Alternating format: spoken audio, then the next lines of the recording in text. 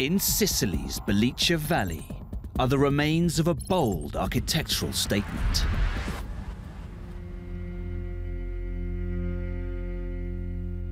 It looks like the whole town was just dropped onto the landscape, completed one day. The angles are brutal. It feels strikingly modernist. It isn't completely empty, but it's very close to it. On a hillside just a few miles to the north lies another sprawling ruin. Narrow, winding streets, a crumbling church. This is, or at least it was, a traditional Sicilian town. It's as if a bomb went off. Bang! It's completely devoid of life, except for the occasional stray dog hunting around the streets. These strikingly different towns share the same name. They must be connected, but it's hard to see how. Girolamo Cangelosi has lived in Poggio Reale since it was built. He has been the town's mayor for four years. Questa piazza è stata disegnata dall'architetto Paolo Portoghesi di... Ogni tanto lo utilizzavamo per ricevere queste, queste compagnie teatrali del territorio siciliano che hanno portato avanti il ruolo della nostra cultura siciliana. The unifying vision behind the central square was part of an ambitious plan for the entire town.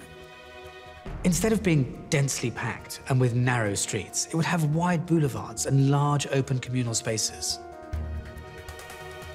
The circular streets were the nuclei of the town, and each was supposed to have a significant building in the center.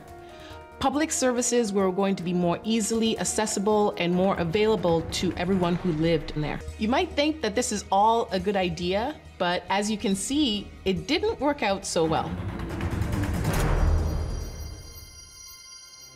The story of how this once visionary settlement became a faded memory begins with the sprawling ruin two miles north. This is the original town of Poggio Reale. Calogero Petralia was born here in the 1950s and spent his childhood among its once busy streets. E questa è la scuola elementare. Vicino alla scuola c'era il teatro comunale. Ci facevamo anche le serate per carnevale.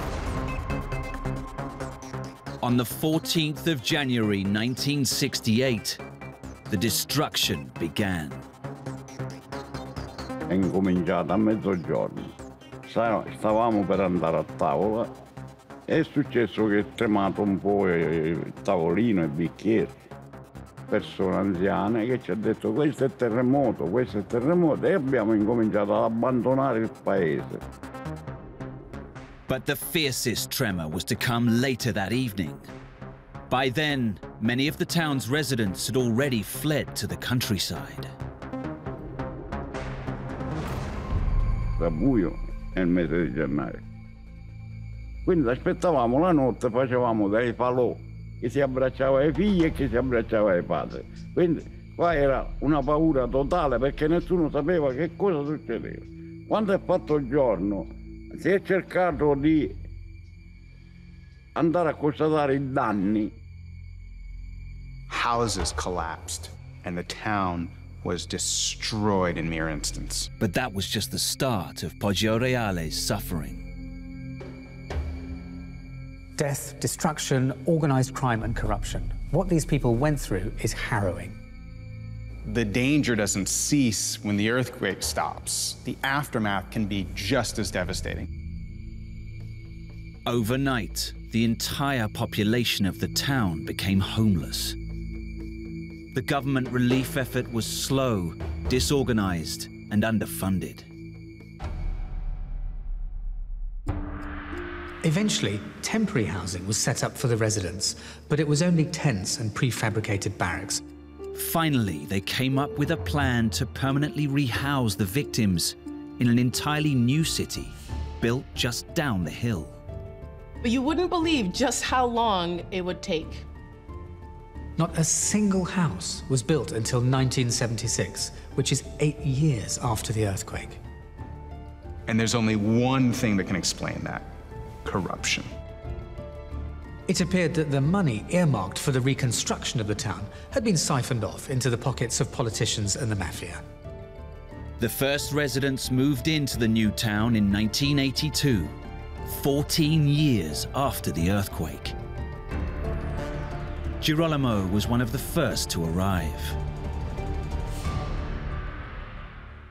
È stato per me una mm, nu- nuova, nuova rinascita perché avevamo le stanze più ampie, avevamo la nostra stanza, perché in baracca eh, stavamo tutti in una stanza, tutta la famiglia. Beyond simply rehousing people, the architects were promoting a social vision. The futuristic design of the town was intended to bring the inhabitants into the modern world. But the dream failed to become reality. That simply didn't line up with what the people of Poggio Reale needed. The people wanted investment in the economy, they wanted jobs rather than money being poured into this new town that was really more of a work of art than anything else. Work on Poggio Reale was completed in the 1990s. The Italian government spent several billion dollars on reconstruction across the region. It had the capacity to house 10,000 people, but it never saw a fraction of that.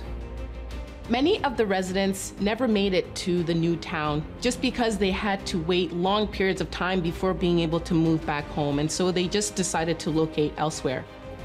And the town's fortunes haven't improved much since. Today, we see these homes selling for a pittance because really, who wants to move into a town that's dying?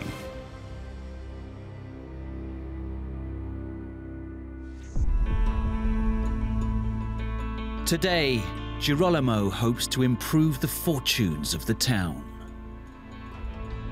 Quando mi sono, mi sono candidato per fare il sindaco di Poggioreale, mi sono candidato per essere al servizio della mia cittadina e dare servizi più importanti alla nostra collettività.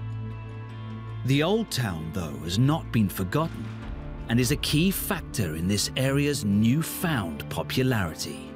Despite the lofty vision of the new town, today it's actually the old town that is proving far more attractive, with thousands of tourists coming every year to get a glimpse of the broken streets and dilapidated houses.